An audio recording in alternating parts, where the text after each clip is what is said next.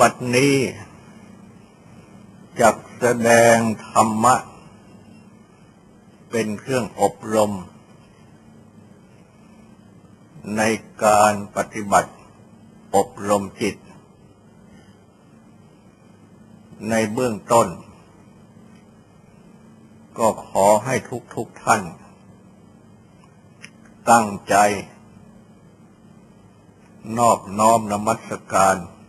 พระภูมิพระภาคอรหันตสัมมาสัมพุทธเจ้าพระองค์นั้น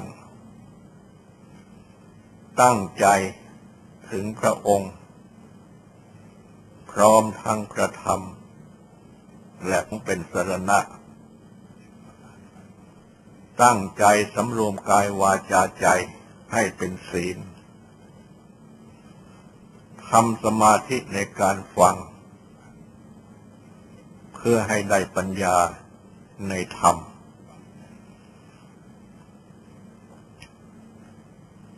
พระสัมมาสัมพุทธเจ้า ทรงเป็นผู้รู้ผู้เห็น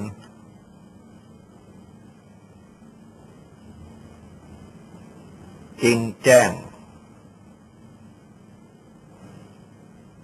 ในธรรมะทั้งปวง ได้ทรงแสดงสั่งสอน เพื่อให้บุคคลผู้ปฏิบัติธรรมะที่ทรงสั่งสอน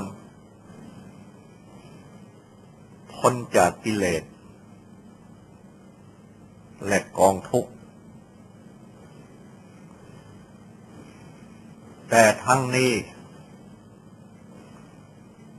ทุกคนก็ต้องปฏิบัติ ด้วยตนเอง เพราะพระองค์ ได้ตรัสไว้ว่าอักขาตาโรตถากตา พระตถาคตทั้งหลาย เป็นผู้บอก ท่านทั้งหลาย ต้องปฏิบัติเอง จึงจะหลุดพ้นได้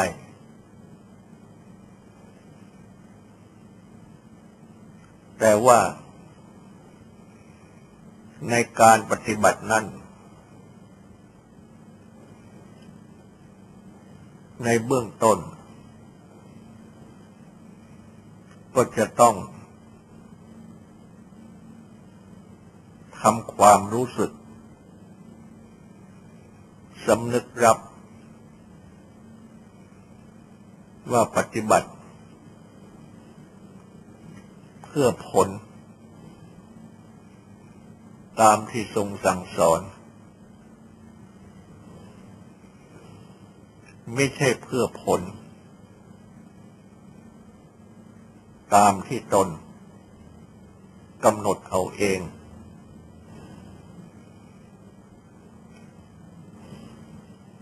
กล่าวอีกอย่างหนึ่ง การปฏิบัตินั้น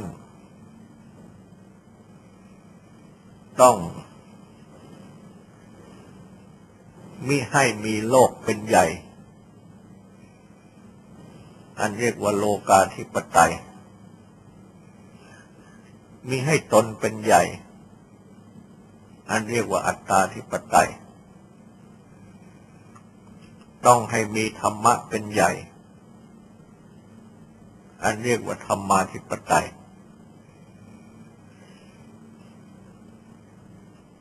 ดังนี้ จึงจะปฏิบัติให้ได้รับผล เป็นความพ้นกิเลสและของทุกไปได้โดยลำดับ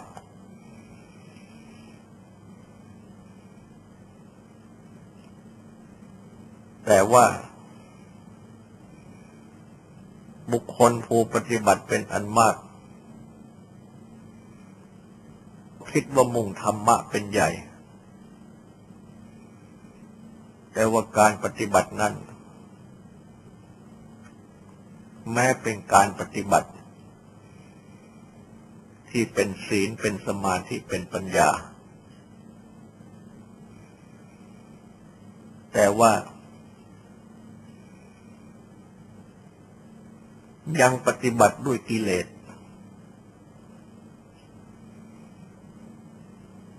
คือมีตัณหาความอยากความต้องการ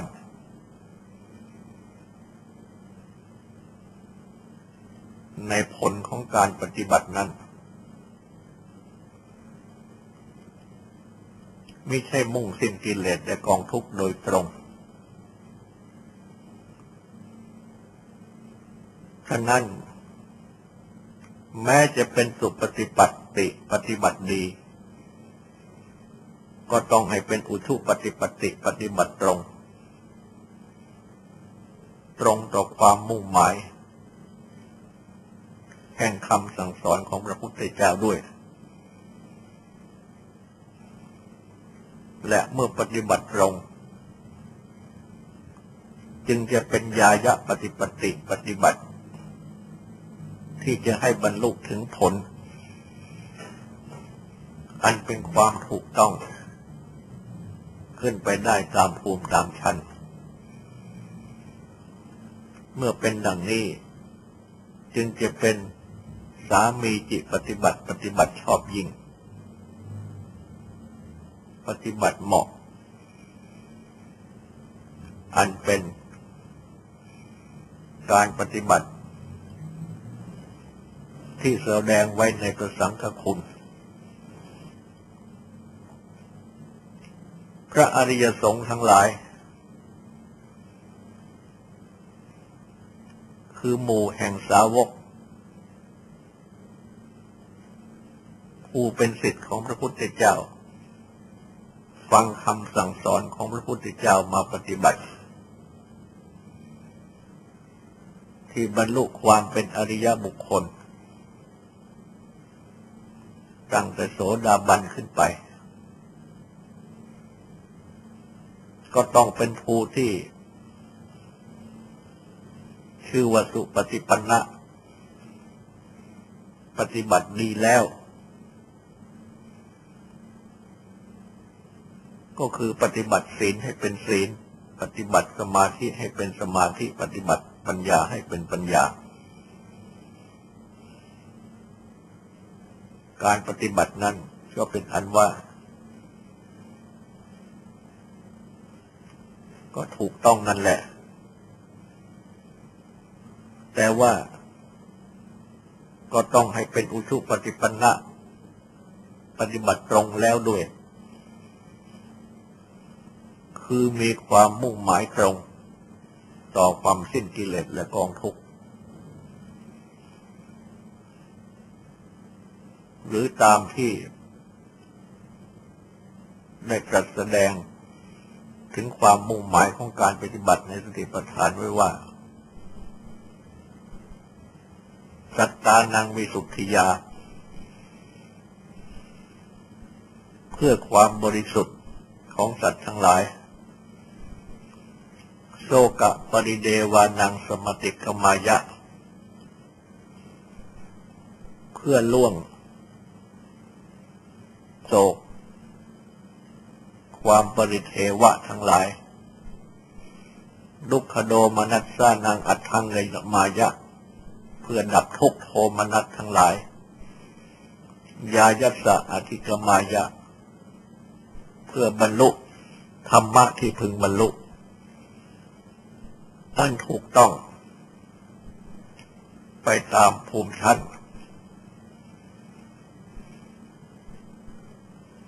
และสามีจิปฏิปันนะปฏิบัติที่ชอบเหมาะ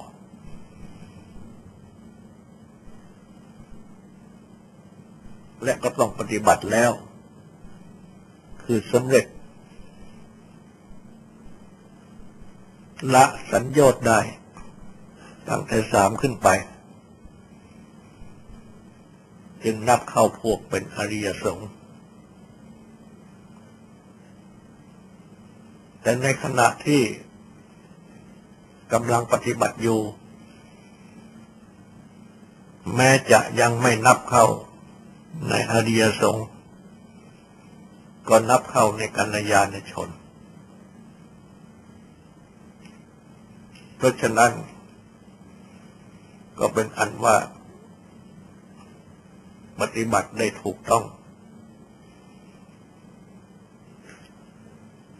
แต่ที่จะเป็นกัลยาณชนได้ ก็จะต้อง ประกอบด้วยหลักทั้งสี่ประการนี้ คือดีตรง และถูกต้องคือบรรลุ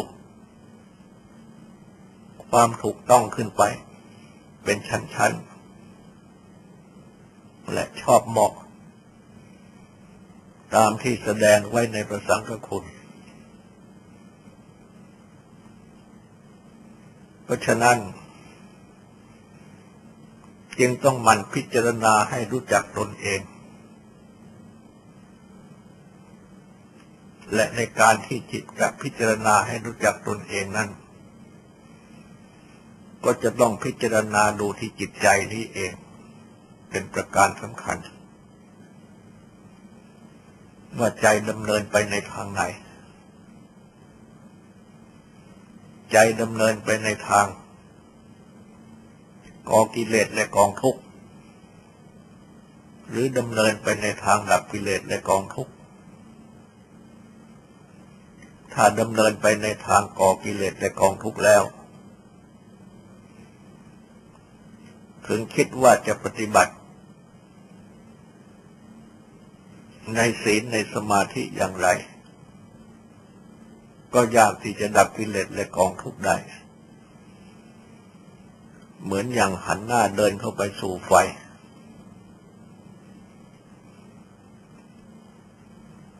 ก็จะต้องร้อนเข้าร้อนเข้า จะพบความเย็นนั้นก็จะต้องเดิน หันหน้าออกมาจากไฟหันหลังให้ไฟ ให้ห่างไฟออกไป จึงจะพบความเย็นขึ้นโดยลำดับ เพราะฉะนั้น จึงต้องพิจารณาดูที่จิตใจของตน และปรับปรุงการปฏิบัติให้มุ่งตรง ต่อผลที่ต้องการ ให้เป็นอุชุปฏิปันนาปฏิให้เป็นอุชุปฏิปติปฏิบัติตรง ในการปฏิบัติ เพื่อที่จะนำจิตให้ตรงดังกล่าวนี้ พระพุทธเจ้าก็ได้ทรงแสดงสั่งสอนเอาไว้ ทุกข้อทุกบท และบทที่มาปฏิบัติกันอยู่เป็นอันมาก ก็คือสติปัฏฐานทั้งสี่ ตั้งใจปฏิบัติในสติปัฏฐานทั้งสี่ ตั้งสติพิจารณากาย เวทนาจิต และธรรมะตามที่พระพุทธเจ้าทรงสั่งสอนเอาไว้ ที่ตนเอง เพราะทุกคนก็มีกายมีเวทนามีจิตมีธรรม เป็นไปอยู่เป็นประจำ รวมกันเข้า เป็นอัตภาพอันนี้ ก็คือกายเวทนาจิตธรรมนั่นเอง พระพุทธเจ้า ได้ทรงสอนให้หยิบขึ้นมาพิจารณา ซึ่งอัตภาพอันนี้ โดยเป็นสติปัฏฐานสี่บ้าง โดยเป็นขันห้าบ้าง โดยเป็นนามารูปบางเป็นต้น ตามแต่จะเหมาะ ต่อ ปริยายคือทางแห่งธรรมที่ทรงแสดง แต่ก็รวมอยู่ในก้อนอัตภาพก้อนกายอันใจอันนี้ ไม่นอกไปจากก้อนกายและใจอันนี้ และก้อนกายใจอันนี้หรือก้อนเวทก้อนกายก้อนเวทนาก้อนจิตก้อนธรรมอันนี้ ก็เป็นไปอยู่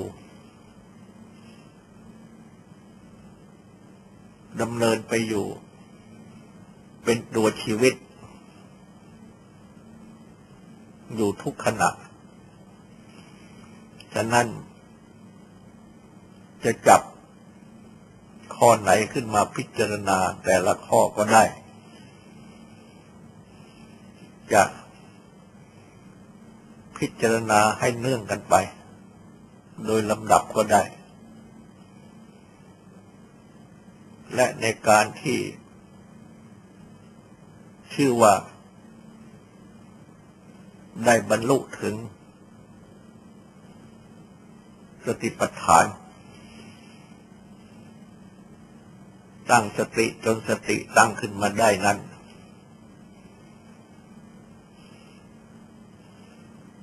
เมื่อจับขึ้นมาข้อใดข้อหนึ่งแล้ว ก็เป็นอันว่าได้จับขึ้นมาทั้งหมดทุกข้อเพราะรวมรวมอยู่ในที่อันเดียวกันหรือในก้อนอันเดียวกัน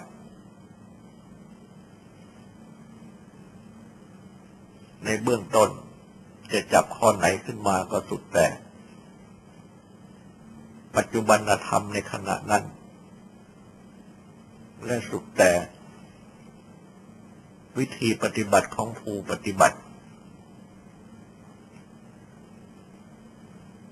เกี่ยวกับวิธีปฏิบัติของผู้ปฏิบัตินั้นก็เช่นผู้ปฏิบัติต้องการที่จะ ให้ดำเนินขึ้นไปโดยลำดับ ก็จับพิจารณากายเช่นกำหนดลมหายใจเข้าออก ก็ย่อมจะได้สติในกาย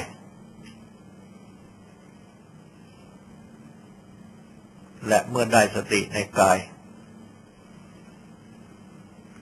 เวทนา อันเป็นผลของการปฏิบัติก็จะปรากฏ ก็จับเวทนาขึ้นมา เมื่อจับเวทนาขึ้นมาพิจารณาเวทนาสงบ จิตก็จะปรากฏก็จับจิตขึ้นมา เมื่อจับจิตขึ้นมาก็จะมองเห็นธรรมะในจิตก็จับธรรมะในจิตขึ้นมาพิจารณาต่อไป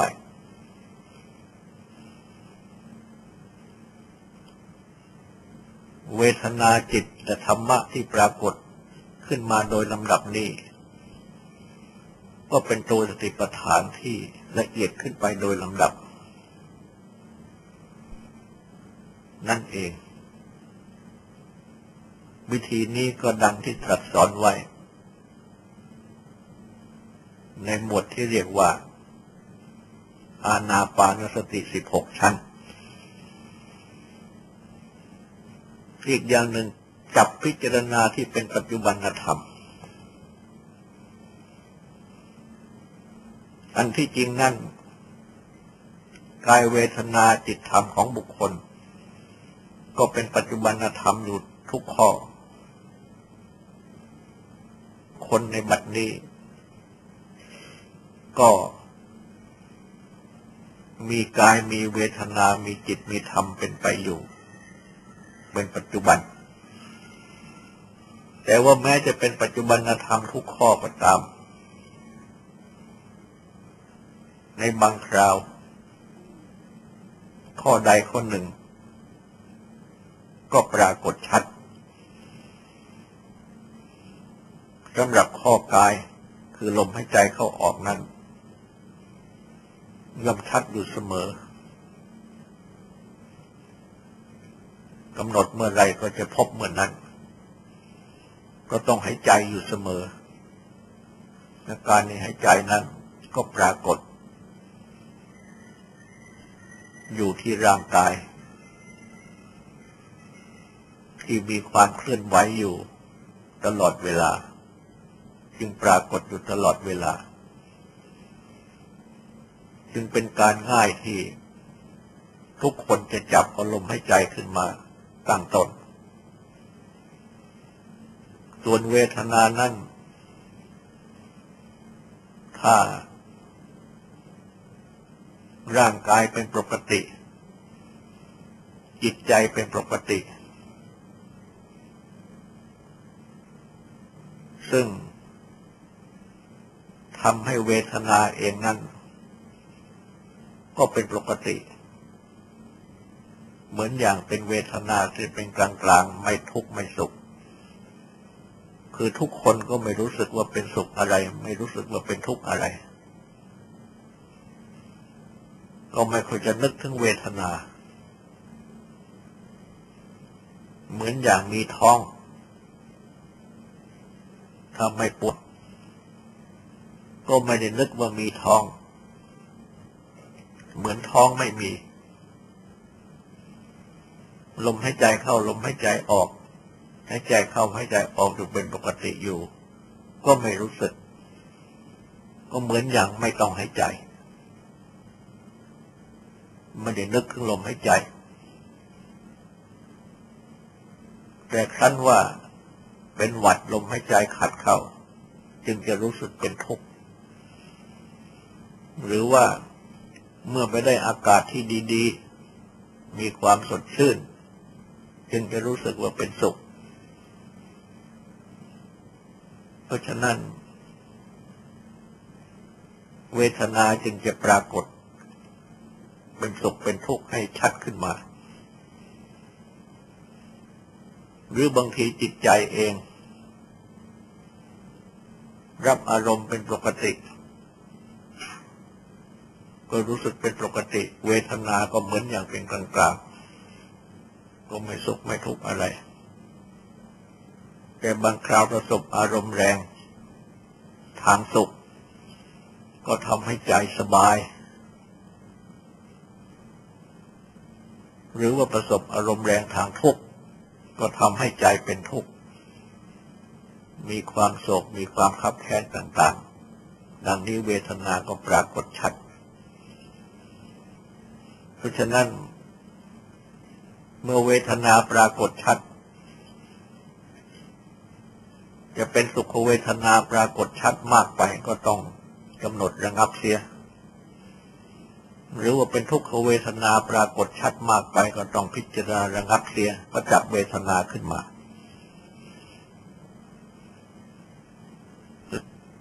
ก็เนื่องไปถึงจิตเองอีกนั่นเอง จิตเอง เป็นทูเป็นตัวที่กินสุขกินทุกข์ เป็นตัวที่รับสุขรับทุกข์จึงต้องกำหนดดูจิตใจ ที่เป็นไปอย่างไร เพราะเหตุแห่งเวทนานั้นก็เพราะว่า เวทนานี้เองเป็นตัวปรุงให้มันเกิดเป็นกิเลสข้อใดข้อหนึ่งขึ้นได้ ทุกขเวทนา ก็ปรุงให้เกิด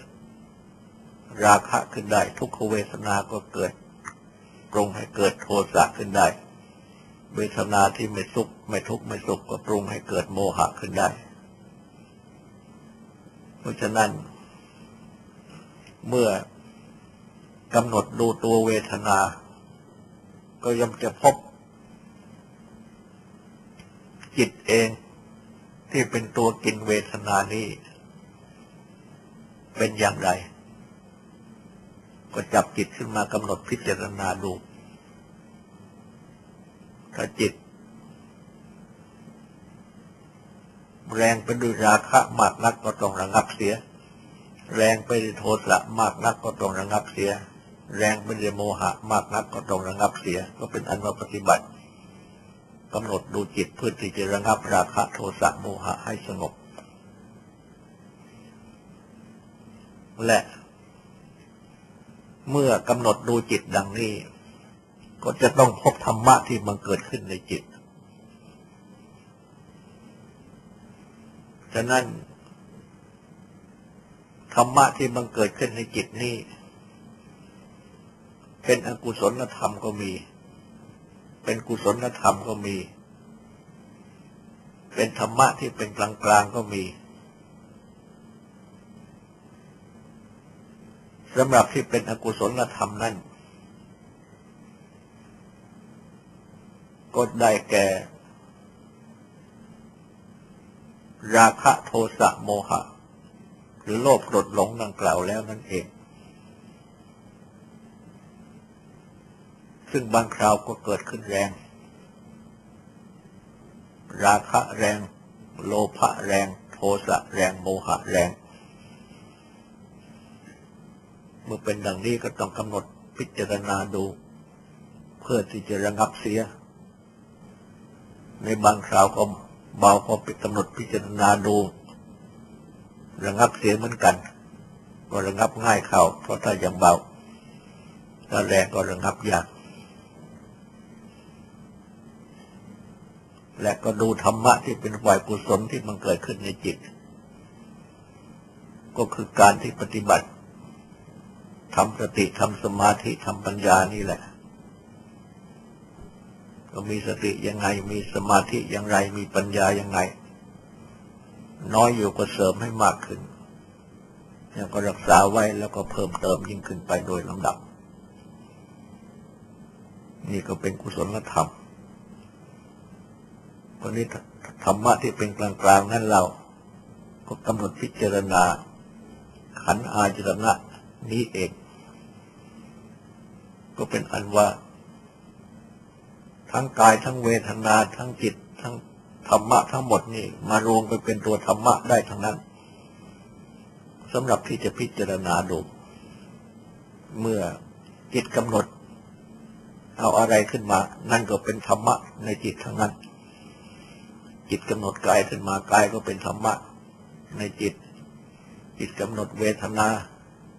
เวทนาก็เป็นธรรมะในจิต จิตกำหนดจิตเอง จิตก็เป็นธรรมะในจิตถ้าจิตกำหนดตัวธรรมะ ที่เป็นกุศลอกุศลคือเป็นกลางๆนั่นเองธรรมะนั่นก็เป็นธรรมะในจิต ก็เป็นอันว่าทั้งหมด ก็รวมเข้ามาเป็นธรรมะกับจิตนี้เองก็รวมเข้ามาตรงนี้คราวนี้ โดยปกตินั้นอกุศลธรรมในจิตมักจะออกหน้าอยู่เสมอ แต่ในบางคราวกุศลธรรมก็ออกหน้าเหมือนกัน แต่ว่าทั้งจิตสามัญของสามัญในชนแล้วอกุศลธรรมมักจะออกหน้าอยู่เสมอ เพราะฉะนั้นพระพุทธเจ้า จึงได้ตรัสสอนให้กำหนดจับ ดูตัวอกุศลธรรมในจิตสำหรับในมหาสติปัฏฐานสูตรก็เริ่มตั้งแต่นิวรณ์คือนิวรณ์ห้านิวรณ์นั่นตามศัพท์ก็แปลว่าเครื่องกัน้น คือกั้นจิตเอาไว้ ไม่ให้ได้สมาธิ และกั้นปัญญาไม่ให้เกิดขึ้น ก็ได้แก่กามฉัน ความพอใจรักใคร่อยู่ในกาม คือรูปเสียงกลิ่นรสผลทพะที่น่ารักใคร่ปรารถนาพอใจทั้งหลาย พยาบาท คือความมุ่งร้ายจิตวิบัติ จิตถึงความวิบัติ ไปด้วยอำนาจของโทสะถีนมิทะความงงงุนเคลิบเคลิ้มอุทธจักกุจักความฟุ้งซ่านรำคาญ และวิจิกิจฉาความเครือบแคลงสงสัยต่าง ๆ เหล่านี้ เป็นเครื่องกั้นจิตไม่ให้ได้สมาธิ ปิดบังปัญญาไม่ให้บังเกิดขึ้น เพราะฉะนั้น บุคคล ผู้ปฏิบัติทำสมาธิ ปฏิบัติทำสติปัฏฐาน จิตไม่ได้สติตั้งมั่นในกายในเวทนาจิตธรรม ไม่ได้สมาธิ ก็เพราะระงับนิวรณ์ไม่ได้ นิวรณ์เข้ามาปกคลุมอยู่ เต็มจิต สติยังลงไม่ได้ สมาธิตั้งลงไม่ได้ ไปติดอยู่ที่นิวรณ์นิวรณ์เต็มอยู่หมด บางคราวก็เป็นตัวกามฉัน จิตมีกังวลห่วงใย อยู่ในกามต่าง ๆ จะเป็นบุคคลก็ตาม เป็นวัตถุก็ตาม ที่รักใคร่ที่พอใจ รากออกไม่ได้ รวมจิตเข้ามาเมื่อไรก็รวมไม่ได้ จิตวิ่งออกไปเกาะอยู่ ในกามาบุคคล ในกามาวัตถุนั้น ๆ อยู่ตลอดเวลา หรือบางคราว จิต มีความ กระทบกระทั่งขัดใจโกรธแค้นขัดเคือง คอยแต่จะมุ่งร้ายออกไปอยู่เสมอด้วยความโกรธก็ในกามวัตถุ ในกามบุคคลเหล่านั้นนั่นแหละ ไม่ใช่ในที่อื่น เพราะว่ารักอยู่ที่ไหนชังก็อยู่ที่นั่น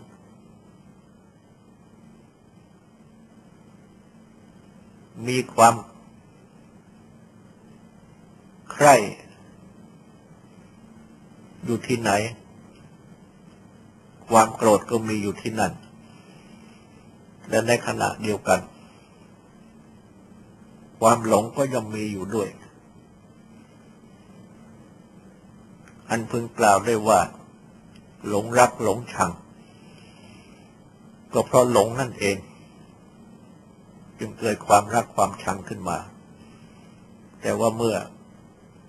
ความรักหรือความชังออกหน้า ก็ยกเอาความรักความชังขึ้นมาพูด เป็นราคะหรือโลภะเป็นโทสะในบางคราวความหลงออกหน้า ไม่รู้สึกว่ารักว่าชังอะไรแต่ยังหลงอันปรากฏเป็นความสยบติดันปรากฏเป็นความไม่รู้ ในสิ่งนั้น ดังนี้ก็เป็นตัวความหลง บุคคลเรานั่น เมื่อยังไม่ปรากฏเป็นรักเป็นชังก็มักจะอยู่ด้วยความหลงคือด้วยความไม่รู้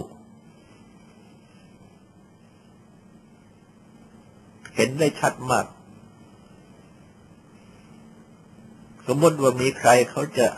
สรรเสริญมีใครเขาจะนินทา เมื่อไม่ได้ยิน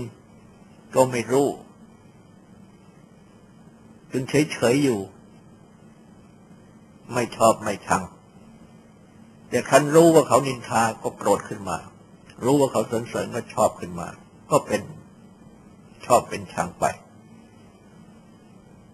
อีกอย่างหนึ่งไม่รู้นั่น แม้จะมีเรื่องบังเกิดขึ้นแล้ว แต่ว่าเรื่องนั้น ถ้าเป็นเรื่องที่ชวนให้ชอบ ชัดๆก็ชอบ ถ้าเป็นเรื่องที่ชวนให้ชังชัดๆก็ชัง ถ้าเป็นเรื่องที่เป็นกลางๆไม่ชวนให้ชอบให้ชังชัดนักก็เฉยๆแต่ก็เฉยด้วยความไม่รู้อีกเหมือนกัน คือไม่ได้พิจารณาให้รู้จักว่า สิ่งเหล่านั้น แม้ว่า จะยังไม่ชวนให้ให้รักหรือให้ชังก็ตาม แต่ก็เป็นสิ่งที่เป็นสังขารคือสิ่งผสมปรุงแต่ง ซึ่งต้องเกิดต้องดับเหมือนกันหมด เมื่อพิจารณาดังนี้ก็เป็นอันว่ารู้เมื่อรู้แล้วเฉย นั่นก็เฉยด้วยความรู้ และแม้ในเรื่องที่ทำให้ชังให้ชอบเรา ก็เช่นเดียวกัน เมื่อพิจารณาให้รู้จักว่า แม้เรื่องที่ทำให้ชอบให้ชังนั้นก็เป็นสังขารคือสิ่งผสมปรุงแต่งเหมือนกัน เป็นสิ่งที่เกิดดับ เมื่อรู้ดังนี้แล้วก็เฉยได้ ไม่ชอบไม่ชัง ก็เป็นเฉยด้วยความรู้เหมือนกัน ราะฉะนั้นเมื่อมีความเฉยด้วยความรู้แล้ว จะเป็นเรื่องอะไรเข้ามาก็ตามก็เฉยได้ทั้งนั้น เรื่องที่น่าชอบก็ตาม เรื่องที่น่าชังก็ตาม เรื่องที่เป็นกลางๆก็ตาม ก็รู้หมดว่า เป็นขานคือสิ่งผสมปรุงแต่ง เป็นสิ่งเกิดดับทั้งนั้น ไม่มีอะไรจริง ดังนี้จึงจะเป็นความเฉยที่ประกอบด้วยความรู้ที่ต้องการ เรียกว่าเป็นธรรมปฏิบัติ แต่ว่าความเฉยด้วยความไม่รู้นั้น ไม่ใช่เป็นธรรมปฏิบัติเป็นขึ้นเองใครๆก็มีได้ทั้งนั้น มีใครเขาสรรเสริญเขานินทาไม่ได้ยิน ก็เฉย หรือคนหูหนวก เขาว่าอย่างไรองกลงก็ไม่ได้ยินก็เฉย เขาด่าก็เฉย เขาชมก็เฉยก็ไม่ได้ยินใครได้ยินเขาก็ต้องโปรดหรือต้องชอบ แต่เพราะไม่ได้ยิน ดังนี้เป็นเฉยด้วยความไม่รู้ ธรรมปฏิบัตินั้นต้องการให้เฉยด้วยความรู้ ซึ่งจะเป็นอุเบกขาอันถูกต้อง ในทางพุทธศาสนา เพราะฉะนั้น บรรดา สิ่งเหล่านี้ ที่เป็นตัวพยาบาทจึงเป็นนิวรณ์เช่นเดียวกับกามฉันเป็นนิวรณ์ คราวนี้แม้ว่าจิต จะไม่ปรากฏว่ามีกามฉันไม่มีพยาบาท ก็ยังมีถีนิมิทะคือความง่วงวุ่นเคลิบเคลิมอันความง่วงวุ่นเคลิบเคลิมนี้ มากับความสงบโดยมากดังจะพึงเห็นได้ว่า ถ้าดูหนังดูละคร อันเต็มไปด้วยเรื่องที่ทำให้ยินดีให้ยินร้ายแล้ว คือก่อให้เกิดการมาฉันบ้างก่อให้เกิดพยาบาทบ้างตาสว่างแต่ถ้านมาฟังเทศที่เป็นเรื่องสงบ ไม่มีอะไรที่น่าชัง ไม่มีอะไรที่น่าชอบ ไม่มีเรื่องที่จะก่อให้เกิดราคะ ไม่มีเรื่องที่จะเกิดให้ก่อโทสะก็เป็นเรื่องที่หากันว่าจืดชืด ไม่มีรส คือไม่มีโทสะไม่มีราคะ ก็หาว่าไม่มีรสคนทั้งหลายหาว่าจืดชืดเมื่อมาฟังเข้าแล้ว เมื่อไม่มีเรื่องที่ทำให้ใจขึ้นขึ้นลงลงให้ตื่นเต้น ด้วยอารมณ์ ราคะอารมณ์โทสะเป็นต้นแล้ว ก็เป็นความสงบ ง่วงก็มากับความสงบ ฟังเทศจึงมักจะง่วงนอน ฟังธรรมะจึงมักจะง่วงนอนเพราะความง่วงซึ่งเป็นตัวทีนมิทะเหล่านี้มากับความสงบ เมื่อเป็นความง่วงขึ้นมาดังนี้แล้ว แม้จะฟังเทศซึ่งเป็นเรื่องสงบ แม้ว่าใจจะสงบแต่ง่วงก็มาเสียแล้ว เมื่อง่วงมาเสียแล้วก็ฟังไม่รู้เรื่องก็หลับ หรือกระซึมกระทึมถือซึมไม่ปลอดโปร่ง สมาธิก็ไม่ได้ ปัญญาก็ไม่ได้ หรืออีกอย่างหนึ่งถ้าง่วงไม่มาก็เป็นฟุ้งซ่านไป ขณะฟังเทศหรือขณะทำกรรมฐาน ฟังธรรมบรรยาย ซึ่งล้วนเป็นทางสงบ ไม่ง่วงแต่ว่าใจก็ไม่อยู่ วิ่งออกไปหาเรื่องที่ก่อให้เกิดราคะบ้างก่อให้เกิดโทสะบ้างต่าง ๆ เป็นเรื่องที่ลวงมาแล้วบ้าง เรื่องที่กำลังจะเกิดขึ้นบ้าง ที่ปั้นขึ้นมาเองบ้าง ก็มักจะเป็นอย่างนี้ ก็เป็นอุทจักอุจากความพุ่งสร้างสำคัญหรือไม่เช่นนั้น ก็เกิดความเครือบแคลงสงสัยต่างๆก็ความไม่รู้ อยากจะรู้ขึ้นมาก็สงสัยอันความเครือบแคลงสงสัยนี่ มักจะเกิดจากการที่ ยังมีความยึดถือว่าตัวเราของเรา ก็มักจะมีความเครือบแคลงสงสัยอยู่ในเรื่องตัวเราของเราที่ยังไม่รู้ต้องการจะรู้ หรือบางทีก็มีความเครือบแคลงสงสัย อยู่ในทางปฏิบัติต่างๆ ยังไม่มั่นใจลงไป ไม่เข้าใจก็เครือบแคลงสงสัย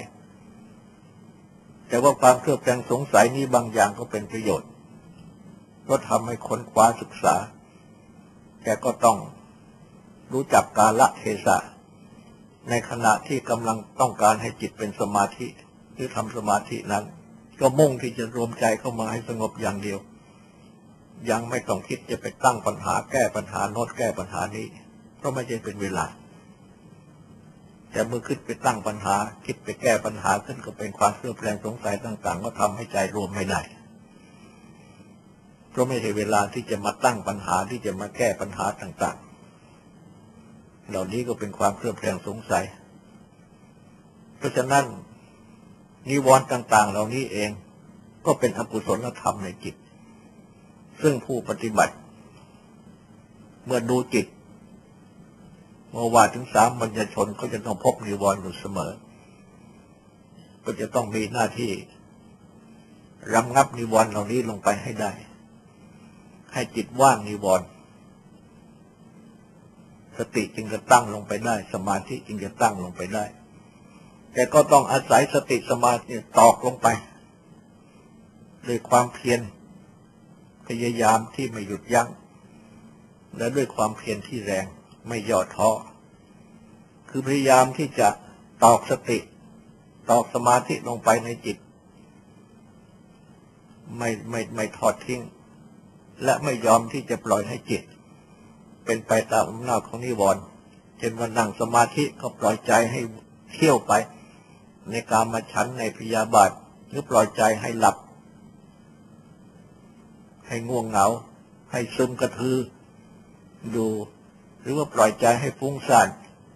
หรือว่าคิดตั้งปัญหาแก้ปัญหาโน่นแก้ปัญหานี่ ใจก็เลยหลุดลอยไป การทำสมาธิดังนี้มีโทษ